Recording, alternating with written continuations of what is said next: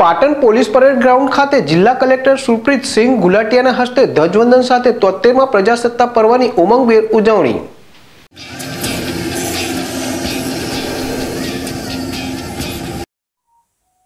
દેશના તોતેરમાં પ્રજાસત્તાક દિનની પાટણની જિલ્લા કક્ષાની ઉજવણીમાં પાટણના પોલીસ પરેડ ગ્રાઉન્ડ ખાતે જિલ્લા કલેક્ટર સુપ્રીત સિંઘ ગુલાટીએ રાષ્ટ્રધ્વજની સલામી આપી હતી.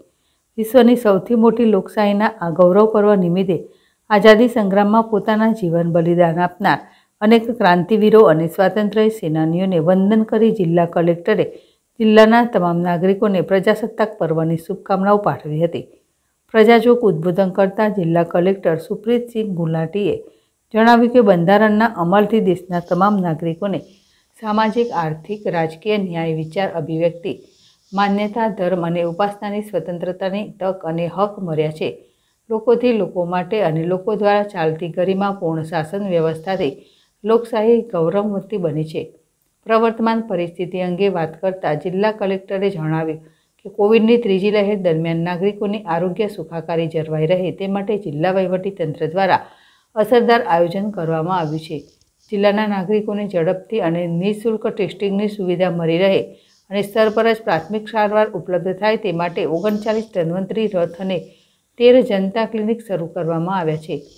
સાથે જ સઘન સારવાર માટે જરૂરી આઈસીયુ ઓક્સિજન બેડ તથા ઓક્સિજન પ્લાન્ટ પણ તૈયાર કરવામાં આવ્યા છે.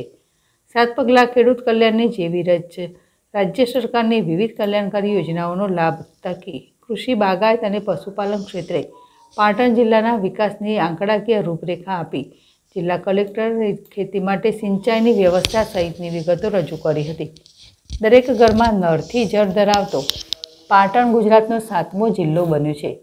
તેમ જણાવી પાણી પુરવઠા વિભાગના આગામી આયોજન અંગેનો ચિતાર પણ જિલ્લા કલેક્ટરે રજૂ કર્યો હતો. માર્ગ અને મકાન વિભાગ રૂપિયા પંદર પોઈન્ટ ઓગણીસ કરોડના મકાનોના કામો તથા રૂપિયા એકસો ઇઠ્યાસી પોઈન્ટ બાસઠ કરોડના રસ્તાના કામો પૂર્ણ કરી જિલ્લાની અંતરમાળખાકીય સુવિધાઓમાં વધારો કર્યો છે તેવું જણાવ્યું હતું.